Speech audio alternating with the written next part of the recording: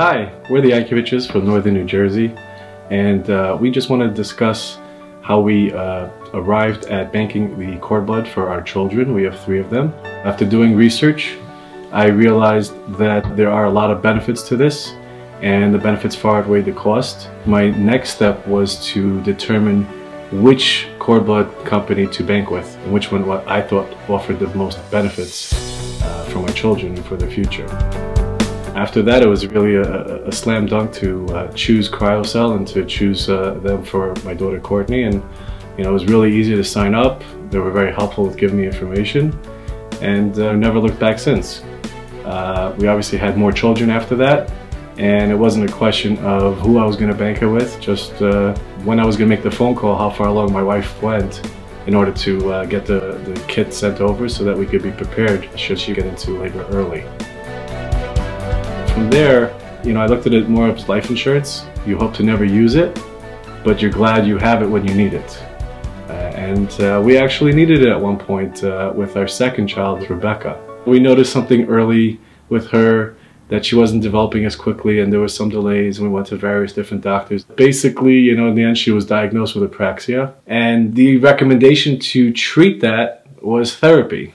You know, this wasn't on the list of one of the curable diseases and I just wanted to know maybe there's a chance that cord can help this. So I just contacted Cryo-Cell and to my surprise it was something that uh, was treatable.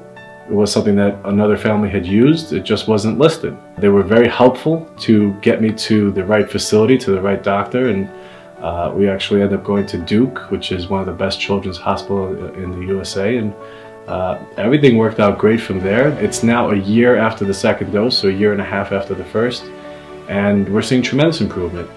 The first time we infused her, um, it was just small things like unbuckling her seatbelt, making a little bit more eye contact. The second infusion, she just exploded with language. And no, it's, I, you know, to, to re restate what my wife had said, literally her vocabulary was limited to 10 words, maybe 20 words at tops, and even those 10, 20 words. You had to prompt her to say them, and they weren't full words. The second infusion just boosted her to like actually complete the word. Complete a sentence. Thanks, Daddy. Rebecca, do you want to play outside? Yeah, yeah, let's go outside. Spell your name. R E E G G A. I love you.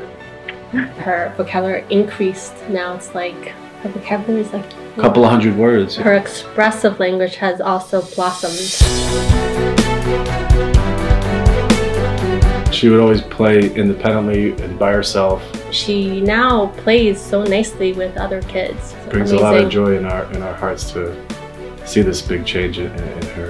A lot of people have said to me, oh my gosh, Rebecca has made so much change over the course of a year. What did you do? So I tell them and they're like, oh my goodness, this is amazing. You infused her with the stem cells and she's made so much progress with just everything. She's like a totally different kid. It's amazing to see like, are you sure this is the same child? Did you bring me a, a, a stunt double or something? Because this is not the same Rebecca I saw a year ago. Looking back, the best thing we probably could have done for our unborn child is this Cryo-Cell and have be ready to bank it once they're born because it is a once in a lifetime opportunity to bank it for them and you don't get a second chance. If you have to sacrifice something to get to it, I think it's worth the sacrifice.